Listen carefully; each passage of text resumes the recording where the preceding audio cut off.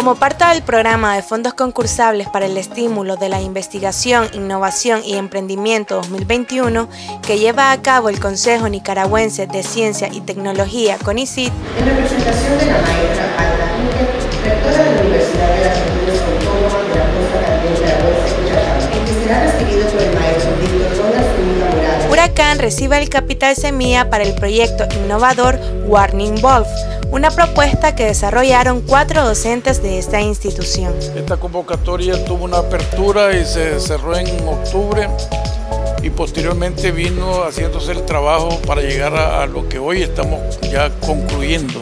Se presentaron, entiendo que 35 trabajos, proyectos, y de eso el CONICIT en un primer momento revisó lo que es la parte del cumplimiento de lo que está establecido para que puedan ellos participar.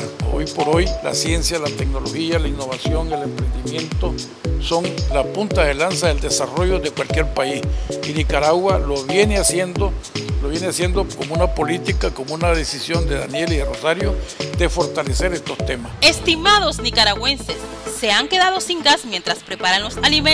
Warning Bulb No te deja sin gas es un proyecto que nació en la culminación de un taller de robótica en el que participaron docentes de Huracán Recinto Nueva Guinea, entre ellos Joeisi Maribel Chavarría Pais, responsable de soporte técnico en Nueva Guinea, quien es la primera mujer en Nicaragua en certificarse a nivel internacional en Arduino. Son docentes de tiempo completo de Huracán Nueva Guinea los que participaron, los que diseñaron la, el proyecto a través del Centro de Innovación y son los que van a desarrollar la aplicación durante los próximos 12 meses. Para mí y para el grupo significa mucho porque es un orgullo. Habemos mujeres de que la universidad nos apoya y también que hay capacidades. Todos podemos y todos somos capaces.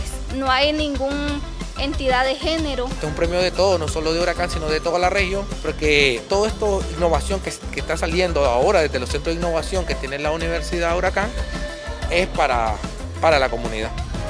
El programa de fondos concursables es una oportunidad para presentar proyectos innovadores que de acuerdo a su aporte reciben un capital semilla para la materialización del proyecto. Por su parte, Huracán seguirá fomentando la creatividad e innovación en su comunidad universitaria. De esta manera, fortalecer los procesos de desarrollo desde las propias sabidurías y conocimientos. Para Huracán, Dara Contreras. Huracán la primera universidad comunitaria intercultural en América Latina.